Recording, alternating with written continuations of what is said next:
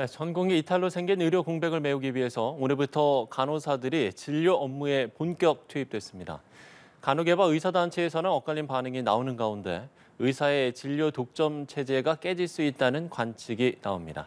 자세한 내용 정형선 연세대 보건행정학과 교수와 함께 짚어보도록 하겠습니다. 교수님 안녕하십니까? 네, 안녕하십니까. 네. 자, 전공의들의 집단 사직이 3주째 이어지고 있습니다. 아, 빈자리를 채우고 있는 의료인들의 피로감도 많이 쌓였을 테고 또 의료 공백의 환자들 또 환자들의 가족의 불안감도 커질 것 같은데 일단 뭐 현장의 목소리를 좀 듣고 계십니까? 어떻습니까? 예. 아무래도 이쪽 분야에 지금 뭐 어느 정도 관여를 하고 있어서 예, 예. 지금 돌아가는 얘기들은 계속 보고 있고 네. 대부분 자세하게 지금 보도가 되고 있기 때문에 예, 예. 일반 국민께서 보시는 바와 같이 지금 3주째 그 실제 큰 병원들의 음. 진료 현장의 허리에 해당하는 역할을 하던 전공의들이 빠지면서 그 역할을 대신하는 그 교수들이나 전문의들의 피로도가 더 커지고 이제 아까 말씀하신 대로 간호사들이 또 그 일정한 역할을 또 해줘야 되기 때문에 예. 어, 그런 점에서는 이제 그리고 또 환자들은 중증 환자 위주로 배치 우선 순위가 바뀌다 보니까 좀 불안하고 환자 입장에서는 뭐 이런 것이 지금 계속되고 있습니다. 예. 지금 이제 의대 교수들도 집단 행동을 보일 조짐을 지금 보이고 있다는 기사들이 좀 나오고 있잖아요. 네. 이렇게 되면 의료 공백이 더 커지는 거 아닙니까?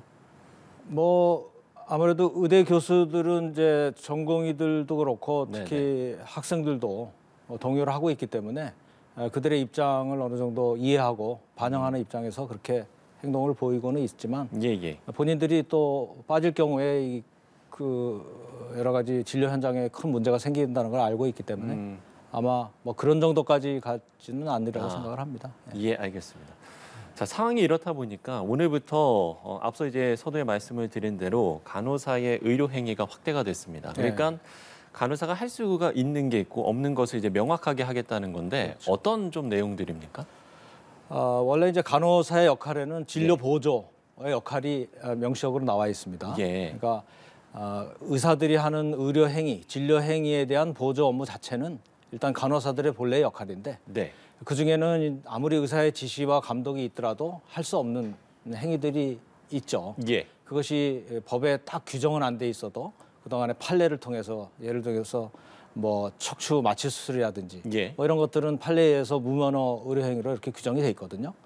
그 외에도 그런 어떤 법적인 절차가 아니더라도 간호사들이 보조하는 업무에 아, 문제가 생길 소지가 있기 때문에 예, 예. 이런 부분에 대해서 정부가 아, 분명하게 전문가들의 의견을 반영해서 그 사전에 가름말을 탄 그런 음. 것으로 오늘 발표했다는 것이죠. 예.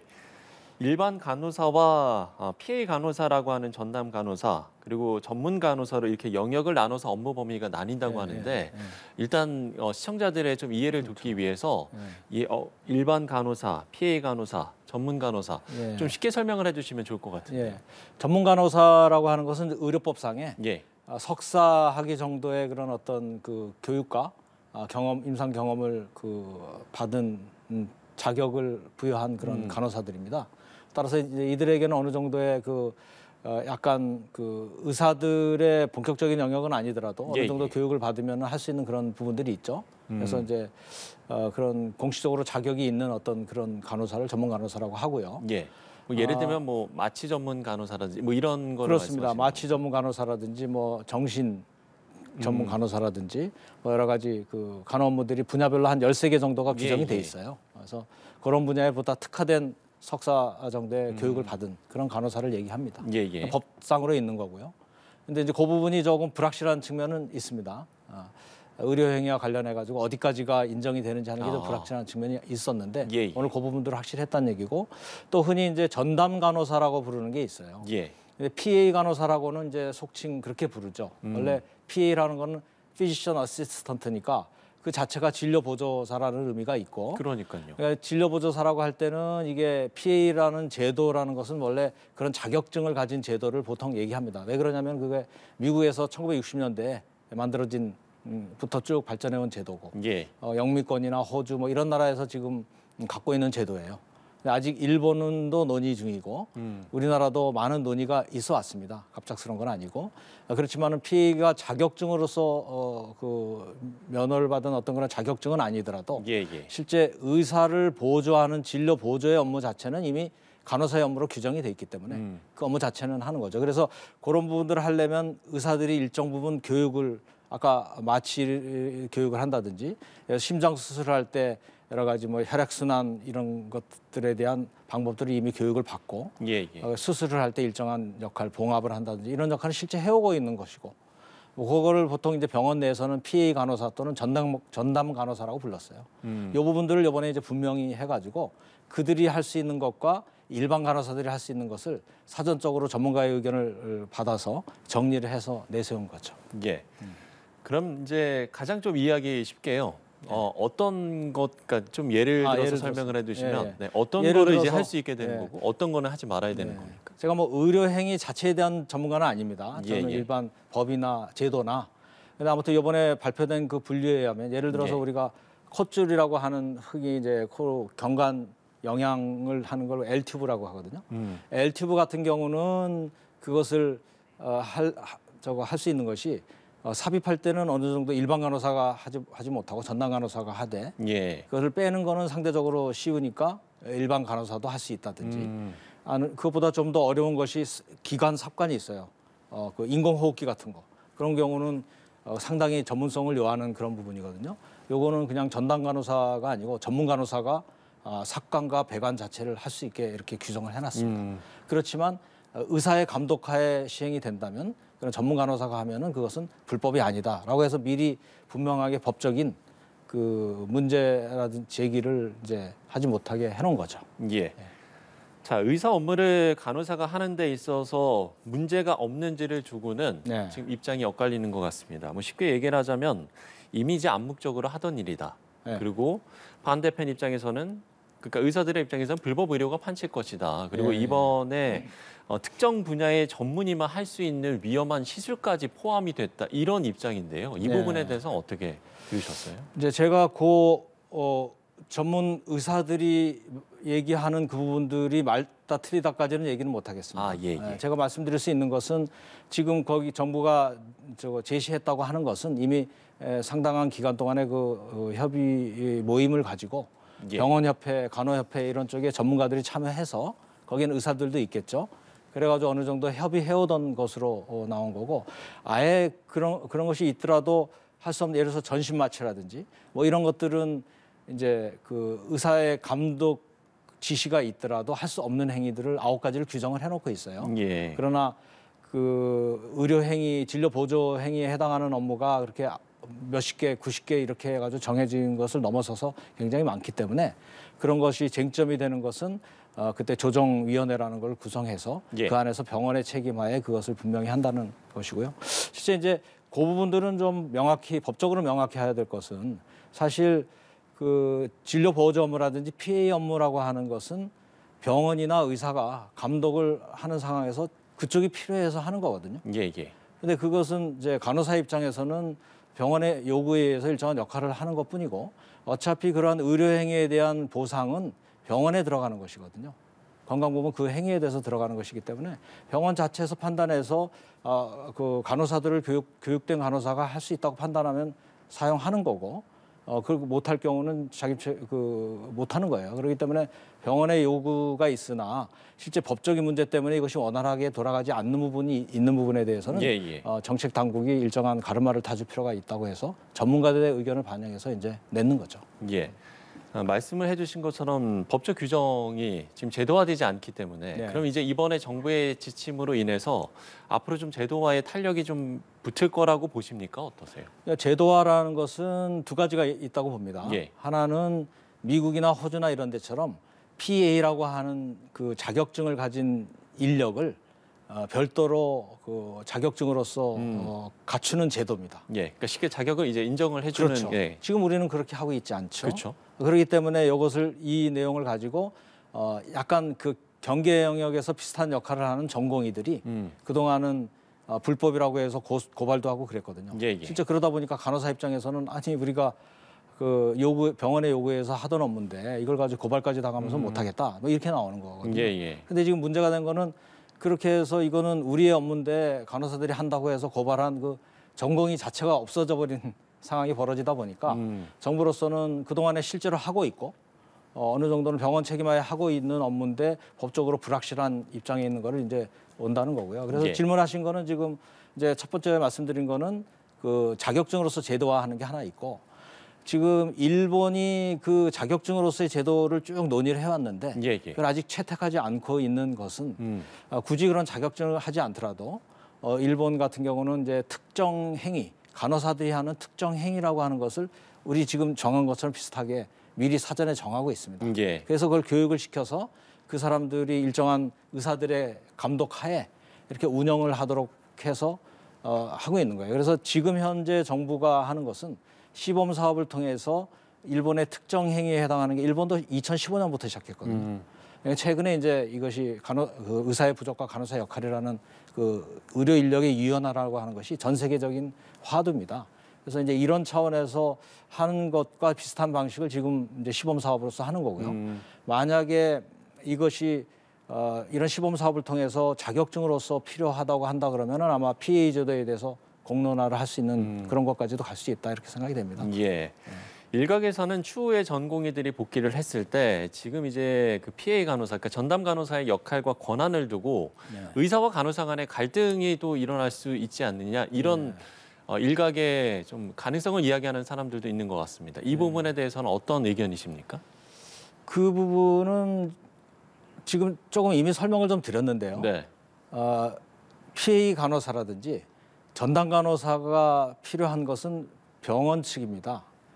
의사 측이죠. 예. 왜냐하면 의사들이 굳이 본인들이 그 전문성을 가진 본인들이 다 나서서 하지 않아도 그래서 수술을 다 하고 봉합을 한다든지 뭐 이런 것은 간호사들 해왔고 충분히 하던 건데 아, 이런 것들을 지금 아, 불확실한 법적인 그런 것 때문에 문제가 되는 거를 확실하게 해준다고 하는 거잖아요. 예, 예. 아, 그런 거기 때문에 아, 그럼에도 불구하고 이제 문제 제기하는 것은 약간 역할이 중복되는 전공이라든지 뭐 이런 쪽에서 좀 있어 왔던 거거든요.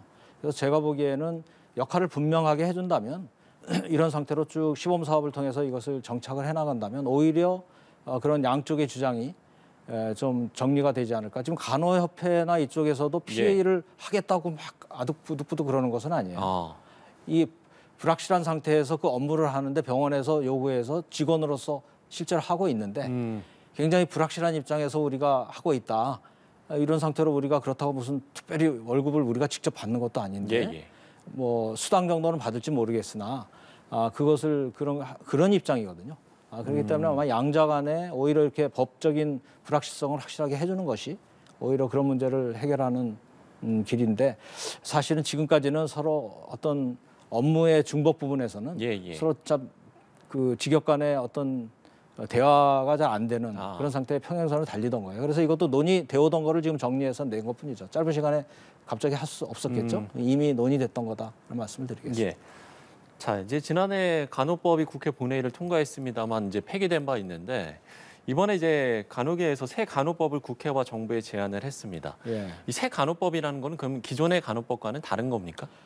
아, 그 부분은 뭐 정확히 나와 있는 것 같지는 않습니다. 아, 그러니까 예. 이제 기존의 간호법이 이제 대통령 거부권에 의해서 지금 이제 했는데 그 논의 과정에서 원래 간호협회나 이쪽에서 주장- 주장했던 별도의 간호법으로서 여러 가지 그런 그 요구했던 사항들은 상당히 빠져 있어요. 예. 근데 이제 마지막으로 쟁점이 됐던 거는 어떤 지역 사회에 대한 역할을 좀 강조하다 보니까 이제 의사분들의 입장에서는 지역 사회라는 이름으로 어, 의사들의 어떤 컨트롤 없이 간호사들이 독자적으로 뭐를 할 수 있는 기반이 마련될 가능성이 있다라고 해서 이제 반대를 했던 거죠. 그 부분을 정부가 오히려 어, 손을 들어주고 어, 거부권까지 상당히 어려운 그런 것까지 나선 거죠. 근데 이번에 좀 이, 또 반대로 의사들이 이렇게 하다 보니 이게 좀 아쉬워져 가지고 간호사들한테 다시 이제 좀 협조를 요청하다 보니까 간호사들이 그럼 우리가 하려고 했던 것이 바로 그런 건데 음. 그거를 못하게 해놓고는 이제 그러냐 또 나오니까